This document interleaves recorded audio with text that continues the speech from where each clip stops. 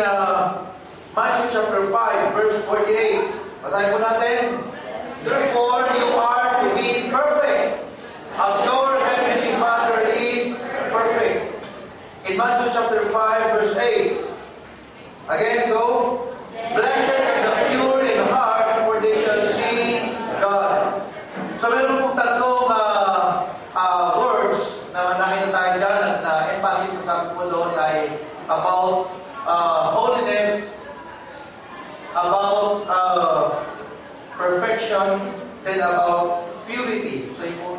words. No? At uh, halos sa isang hong kahulugan yan. Perfection, holiness, and purity. Ngayon, uh, sa, sa isip po natin, ano ba ang uh, ibig sabihin ng holy?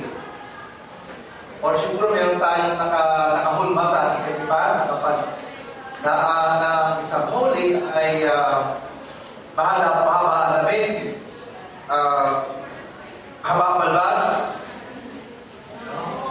uh, mahaba ang buhok, nakasuot ng puti o kaya orange, ma mahaba ang manggas ng kilikili.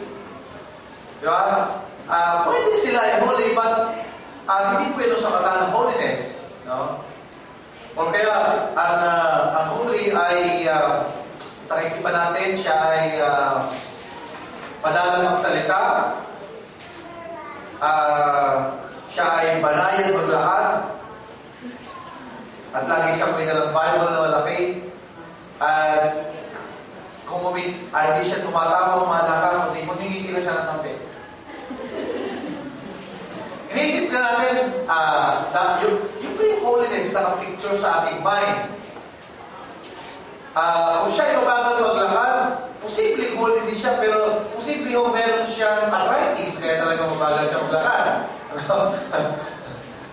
Ah, uh, siyang Bible, yes, possible, kasi kinabubuhay niya ang salita ng Diyos. But pwede rin kaya meron siyang Bible, siya ay fanatic, ganun ano? Or siya ay uh, hindi halos nagsasalita kasi pipi siya. No?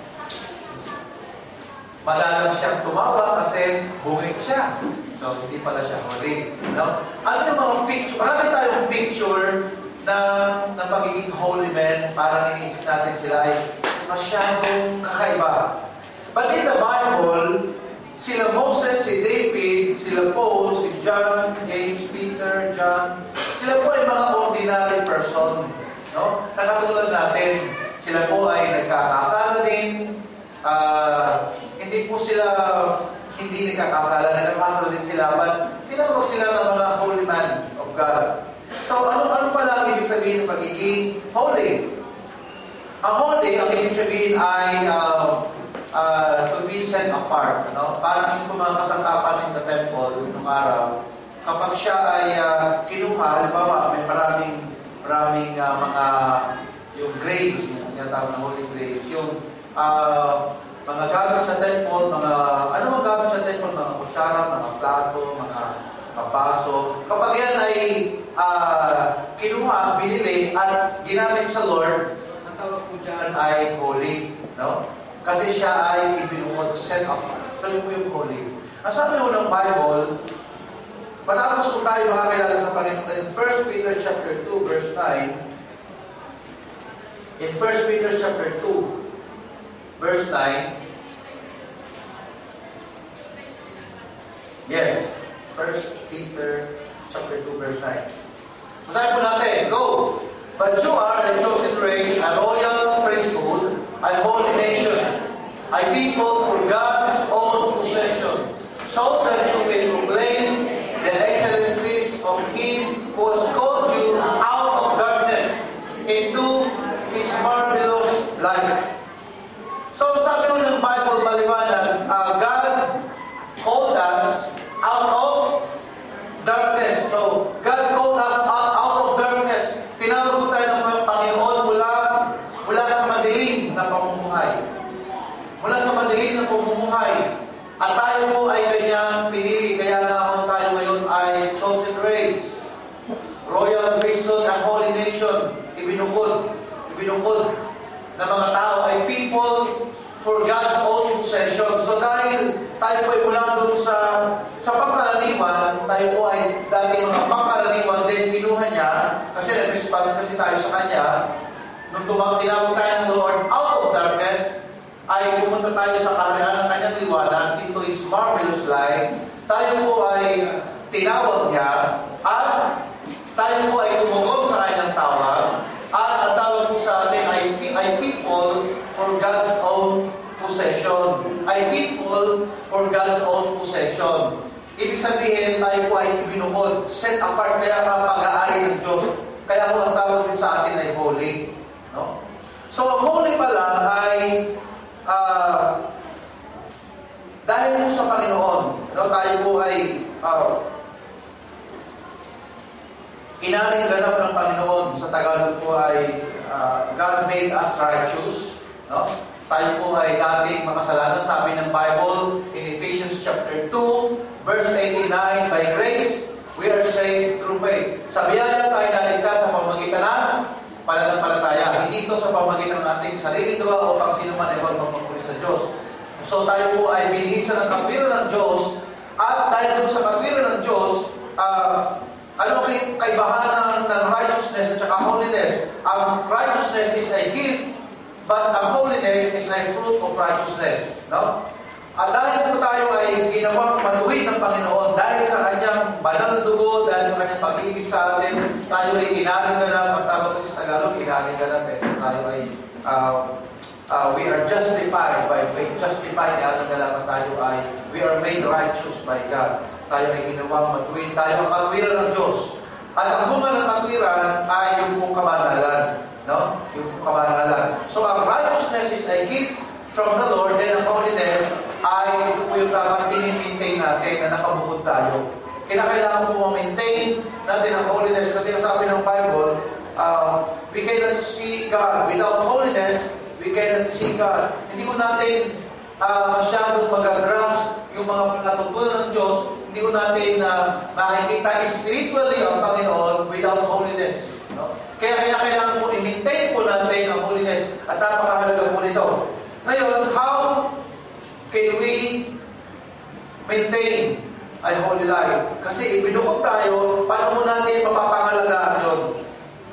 Kasi yung kung righteousness, hindi ko natin mapapangalagaan yun, binigay na ho ng Lord sa atin yun. Kumbaga, uh, built-in na sa atin ngayon na, na tayo ay uh, merong katwiran na inilagay na ng Diyos sa atin. But yung kung maintenance, na tayo ay lumakad ng may kabanalan, dapat po i-maintain po natin yun.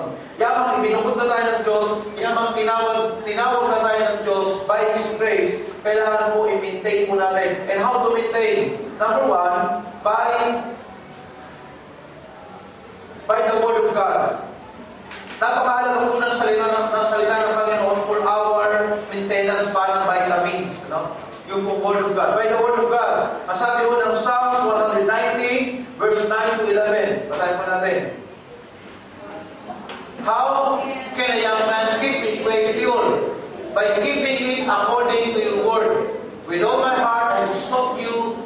Do not let me wander from your commandments.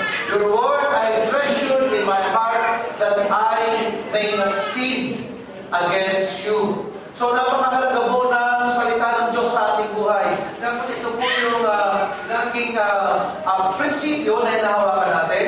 Kung may mga desisyon mo tayo na parang sasalungat sa salita ng Diyos, bago tayo mag-desisyon ng salungat sa salita ng Diyos, kung hindi, uh, hindi natin ma-maintain yung, yung holiness na binigay ng Lord sa atin. Dapat po ay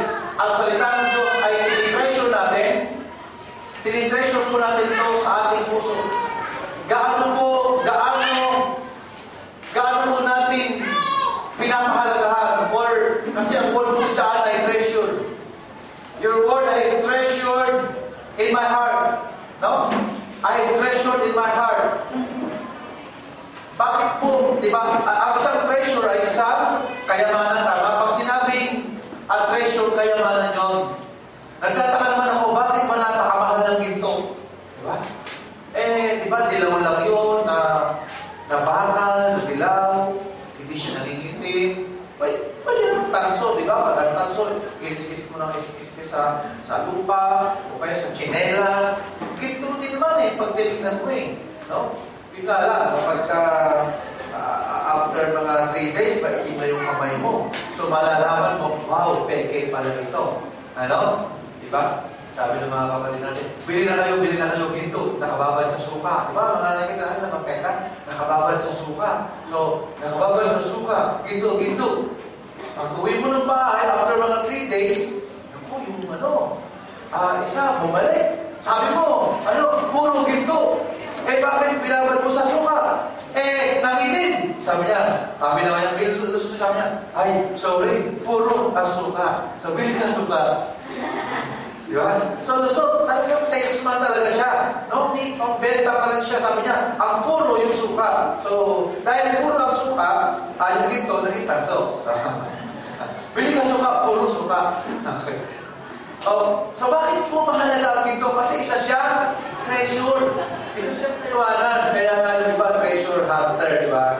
Bakit ang diamond? Napaka, pag tingin mo, wala lang, makislap lang, din talagang, ah, bakit siya, ano, eh, ano pala yun, tulig pala yun, na after mga 500 years ay na, na sa presyo ng lupa ay na ano hanggang sa naging ano, na, ay, hanggang sa naging diamond pala yun, pagtagal ano.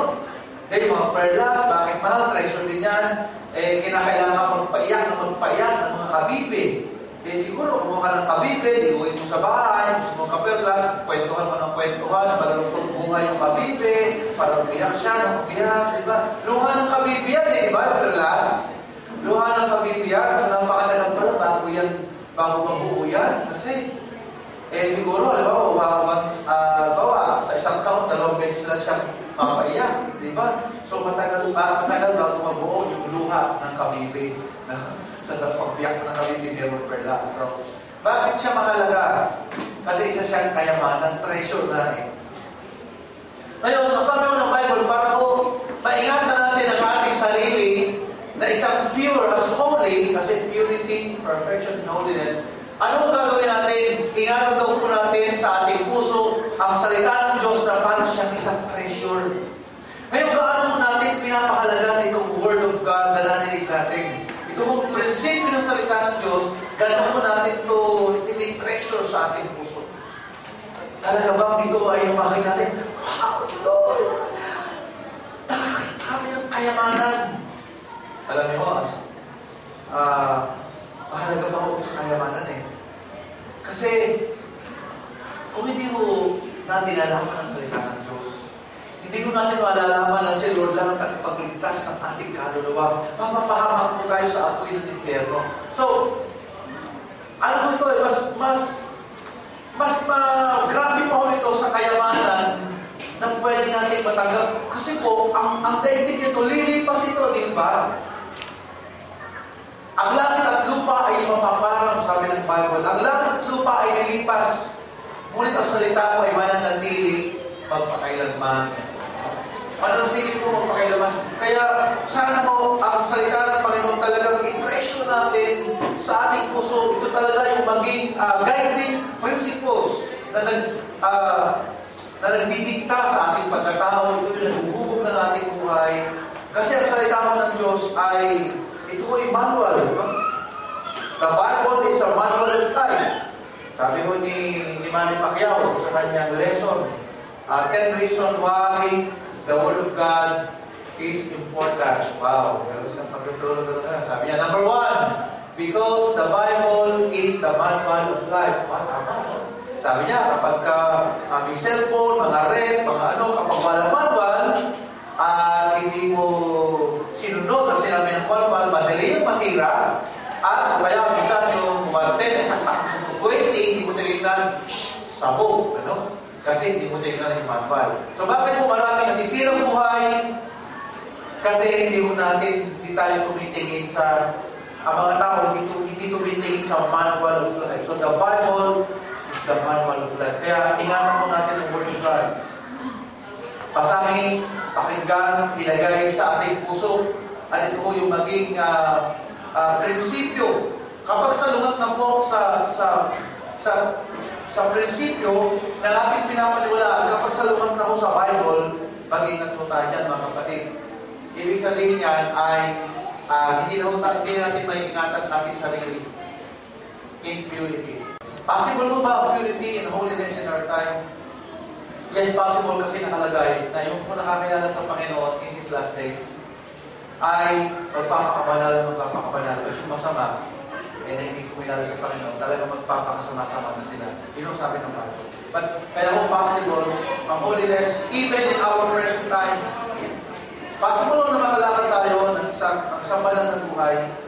Alay dahil ko po, sabi ng iba, ah, kasi yung iba, extreme ang tingin nila sa kabanalan. Parang, pagka ikaw ay ah, ah, isang Christian, kapag ikaw ay nasa Panginoon, huwag ka nang manonood ng TV kasi masama ang telebisyon. Ah, siguro, ang panonood natin dyan, huwag mo panoorin yung masasama dahil pinapalabas sa telebisyon. Di ba? Ganun lang po yun. Yun ang susundan natin ang prinsipyo. Pag masama palabas, huwag mo panoorin.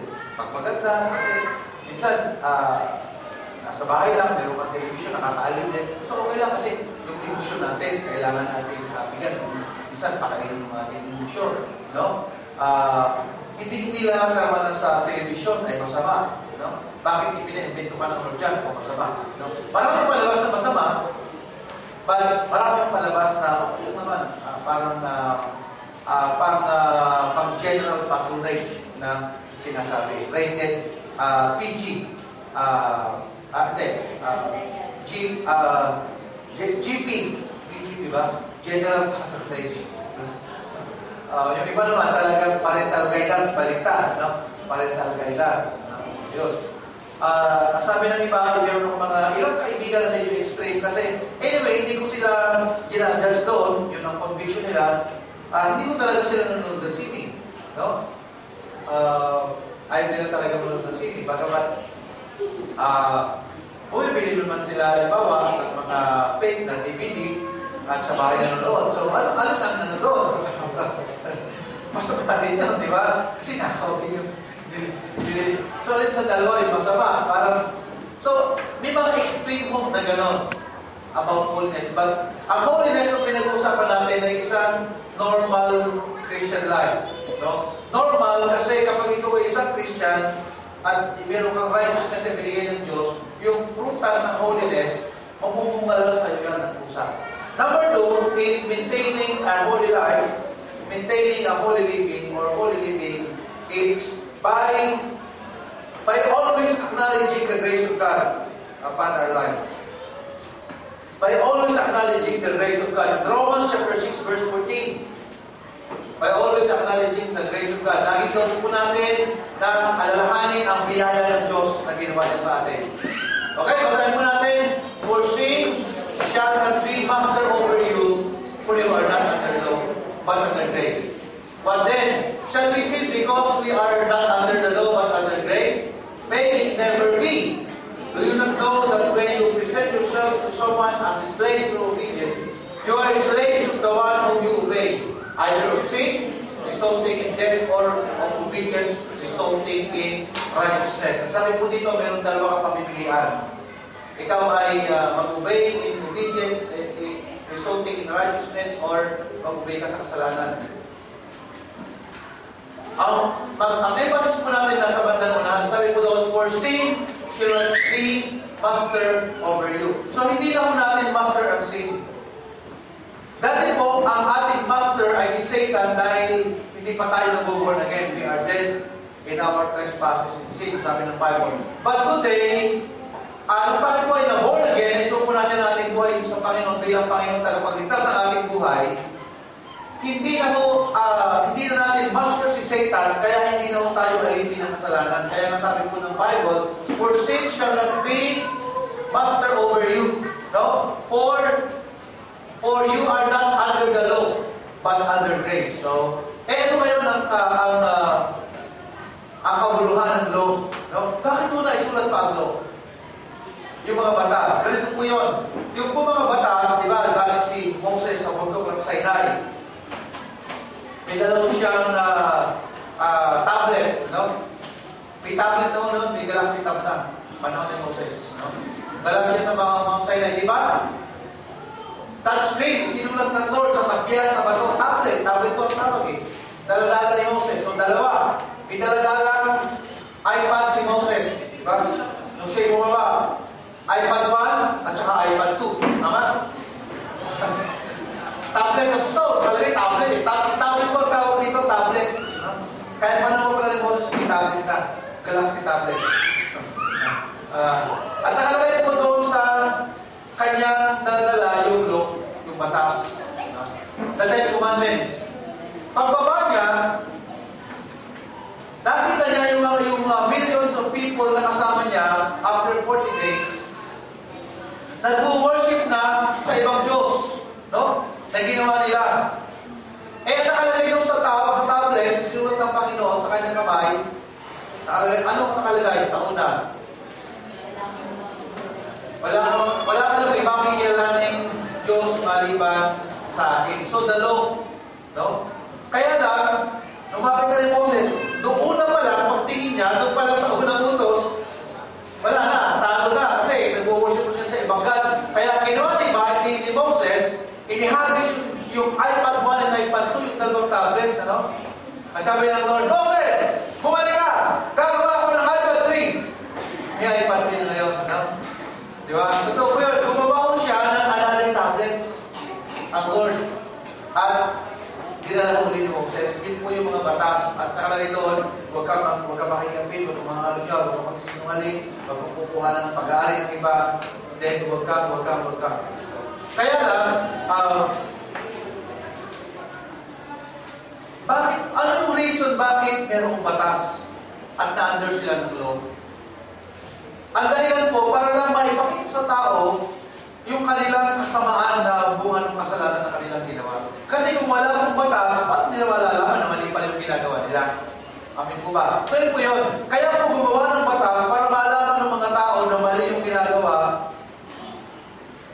At ngayon, uh, sila ay under ng mga batas na ito, pinipilit nila yung sundin lahat ito. Pero wala akong nakasunod ng Ten Commandments ng mga batas. They are under law, kung ikaw ay under law, you are under curse. Kasi dapat magawa mo yung lahat. No? Kaya ngayon lumalamig siya Panginoon pag sinabi niya, Lord, nasunod ko na po yung lahat. Hindi, may kulang pa. Lagi may kulang na isa. No? Yung, yung mayaman sabi niya, ah, uh, pagbili mo lahat ng ari-arian mo. Ibig sabihin, mahal niya ang kanyang ari kaysa Diyos. Eh sabi ng Lord, huwag ka magkakaroon ng ibang Diyos maliban sa akin. So, laging kulang ng isa. No? Natupad niya siya, but yung, yung isa na pinakamahalaga, hindi niya natupad. Kaya umalis siya na nalulungkot. So, sino ang tumupad ng batas? Again, tinupad ho ng Panginoong Jesus ang batas para mo, ang nasa ilalim ng batas ay uh, Kumbaga, makita nila Lord, hindi, hindi talaga namin pala kaya ang batas. Kaya, sabi ng Lord, ako ay nagparito, pumarito upang tuparin ko ang pautusan, hindi para sirain ito. So, pumunta siya dito, tinupad niya yung batas, at nung tayo ay nagpailalim sa Panginoong Jesus, we are under the Lord Jesus Christ. So, sabi ng Bible ngayon, you are not under the law anymore. So, you are not under the law, but under grace. So, kinakailangan i-glorify natin parati ang Panginoong Isus sa ating buhay. Kinakailangan i-glorify natin yung biyaya na ginawa ng Panginoong Isus sa ating buhay. Kasi ganito pa mangyayari kapag pag lagi tayong natakot na magsinungaling, lalo ka magpupol sa pagsinungaling. Ano ko, baka, baka mga pagsinungaling ako, baka mga pagsinungaling ako. Kapag lagi mong inisip na, ako, baka yung asawa ko, makaitan ko, baka magkasala ko ng pakaitan nasala ko. So you are under the law. At pinipilit mo sundin yun, samantalang sabi ng Lord, ano sabihin natin, Lord, alam ko, actually, isa akong sinungaling. But, by your grace, I am under your grace. Naging, naging kasinungalingan ka para sa akin kasi naman, uh, yung kasinungalingan ko, dinala mo sa krus ng Kalbaryo. No? At dahil doon, Panginoon, hindi na ako matatakot mag, ah, hindi na ako matatakot na makapagsinungaling dahil dahil sa iyong biyaya, Panginoon, tiyak, hindi na ako makapagsinungaling. By the grace of God. No? Para, Lord, hindi na ako na magkasala ng immorality because of your grace, because of your grace, Panginoon, tiyak na tiyak na uh, kapag lagi kong naalala yung biyaya, yung ginawa mo sa akin, ano ba yung grace na yun, di ba? Amazing grace yun. Kasi lagi kong maalala na, Lord, namatay ka nga pala sa kasalanan ko. Wow! No? Yun yung, mag, yun yung talagang magre-remind sa'yo ng uh, lagi mong i-glorify yung ginawa ng Lord. At tiyak na tiyak, once na gino-glorify mo, ina-acknowledge mo yung biyaya ng Diyos na ginawa niya sa'yo, hindi ka na mag, hindi ka mag-fall into temptation at hindi ka na uh, hindi ka na nagpapa-under ng law, kundi lagi mo na lang inaalala yung yung biyaya ng Panginoon. Kaya lang sabi ni Paul, yung iba ganito nangyari. After the grace of God, maranasan nila yun, ay yung iba parang, sabi niya, eh, hindi ko ganun pala, ay under grace, pwede na talaga akong magkasala ulit. Kasi under naman ako ng grace. Wag mo natin abuso ng grace. Sapagkat sabi ng Lord, yes, we are under grace. At sabi mo ni Paul, what then? Eh ano ngayon? Tayo ba ay magkakasala because we are we are not under law but under grace? Kasi ano yung nangyari sa iba? Yung mga kinukumusta na ako, kasi yung kanyang kanilang kaisipan, sabi nila, uh, kasi under grace po tayo, kaya ano nangyari, uh, parang lagi masyado na pinagmamalaki, na tinubusin siya ng Panginoon, kaya din siya pupunta, kahit magkasala sila. Eh kapag po ganun ang kaisipan, baka from the very start, baka hindi niya na, baka hindi niya na, na natanggap yung grace ng Panginoon. Kung ganun ang kanyang kaisipan. Kasi ang isang taong nasa under ng biyaya ng Panginoon, wala siya dapat ganun kaisipan. Kaya lang yung iba talagang nabalita ko sa Sabi ko, eh, kumusta na siya ngayon? Ayun, nasawa ng kung yung asawa, nag-asawa ng iba, at uh, grabe naman ang nangyari bakit kaya bakit nagkaganon. Kasi nga, ito mo yung nangyari. Shall we sin because we are not under law but under grace? Iisip ng iba na pwede sila magkasala because we are under grace. Sabi ni Paul, may it never be. Huwag sana magkaganon. No? Hindi po ganon. Hindi po hindi po license ang grace para tayo magkasala. At paano pa nagkasala tayo? Lord, meron akong license, oh. Ah, meron ako, ang tawag doon ay, uh, uh, siguro, kung baga sa ano, ay uh, meron kang letter from the president na ikaw ay ganito, nakalagay. Eh, pag nahuli mo ng pulis, nagkasala ka, oh, nakalagay, oy, President Aquino, ay, pwede yan. Parang, oy, nagkasala ka. Hindi, ito, uh, under, under ako ng grace. Hindi po yun. Kasi, especially kung sinasadya mo yung kasalanan, hindi ka papanagutan ng nagdalis na sa kasalanan kasi sinasadya. Siguro kung, kung ikaw ay nadulas, ikaw ay nahulog, makapagbigyan ka. Pero kung sinasadya mo kasalanan, kapatid, possible you are not under grace. Hindi mo talaga nalasap yung grace ng Panginoon. Kasi ho, ang isang uh, ang isang mananampalataya ay halintulad na po sa isang tupa. Sabihin natin tupa. Sabihin natin, ako'y tupa ng Panginoon. Yes. Anong ibig sabihin niyo na ikaw ay tupa? Ano ang pagkakaiba ng baboy at ng tupa? Ang tao po ng mga kasalanan na nasa kasalanan pa, hindi pa siya nakal nakalasap ng grace, ay baboy. Ang baboy po, kahit siya na ay uh, linisan mo, paliguan mo, lagyan mo ng pabango, ilagay mo sa kama mo, maganda yan habang katabi mo.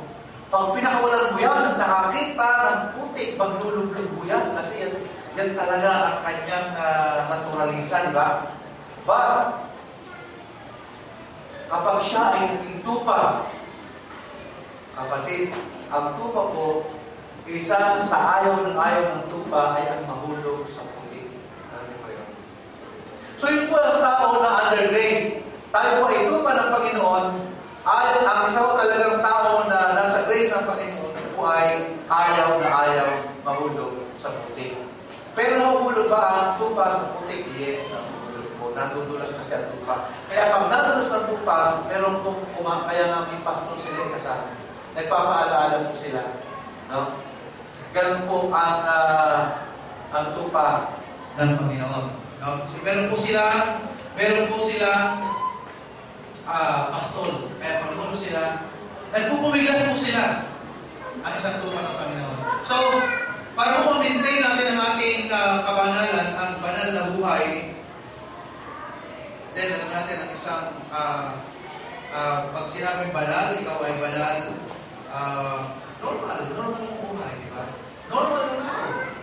Ah, pwedeng, pwedeng madulas, may tupa, pero because of the grace of God, handang, handang, ah, handang magbalik lagi sa Panginoon at pumipiglas kapag nadulas sa kasalanan. So yun po yung sa tupa ng Panginoon and we are under grace. At lagi ko sana natin alalahanin, we, uh, by, uh, mamimintay mo natin ang isang holy living by acknowledging always, by always acknowledging the grace of God in our life. So yun po yung uh, ating uh, naging message for today at siguro ang emphasis ko doon sa doon sa relasyon natin sa Panginoon. Kasi malapit na po ang Holy Week. Uh, mamaya may communion tayo. Talagang ibabalik ko doon sa i-treasure po natin yung faith na tinanggap natin. Kasi po yung mga yung mga mga suicide bomber, kahit po sila suicide bomber, uh, meron tayo mapupulot doon ng positive. Ano kaya ang pwede natin mapulot sa kanila? Eh, suicide bomber na sila. Kasi po, bakit pa lang sila, tinuturuan na sila sa kanilang faith na pumatay ng tao at handa ho silang mamatay, uh, maglagay ng bomba sa sa mga tiyan, sa, sa kanilang uh, likod, at sila po ay pasabugin alang-alang sa kanilang paniniwala. Ano ang mapapansin natin doon? Parang ganun po katindi ang kanilang commitment sa kanilang belief system. Handa, handa silang magbuwis ng buhay alang-alang sa kanilang natagpuang pananampalataya. Diba?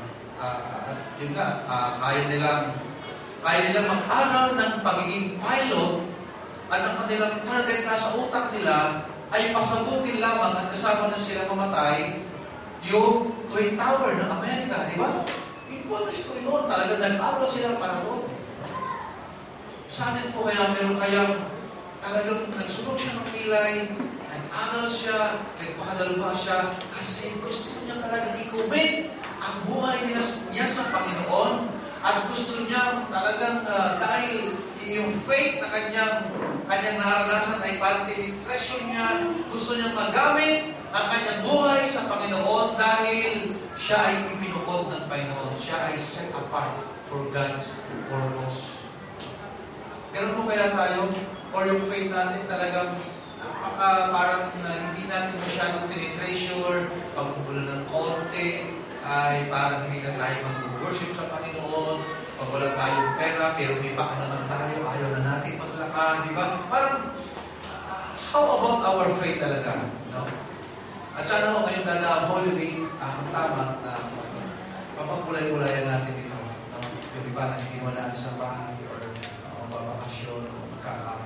ma, ma, ma, mapanahin natin minsan pa yung ating uh, treasure na natanggap yung ating faith, si Jesus sa puso natin, yung parang partner natin, na talagang mabuhay tayo at makita talaga ng mundo na tayo ay nagliliwanag, tayo ay lumalakad din ng holy life, makita nila na talagang kakaiba tayo sa pangkaraniwan. Hindi na tayo tao, hindi tayo parang pangkaraniwan lang ng mga tao. Kanya, na walang magawa, yung salita nila, yung kanilang kilos, pare-pareho lang. So, ikaw kakaiba ka. Kasi ibinukod ka. No? Mula sa pagiging tao na langis, tao ka lang. tayo ay kinuha ng Panginoon, dinampot ng Diyos na response tayo. At tayo ibinukod, set apart, holy, no? set apart for God's purpose, for His divine purpose. God bless you po. Pagpalain natin ang Panginoon. Pulingin ang Panginoon. Palapakan po natin.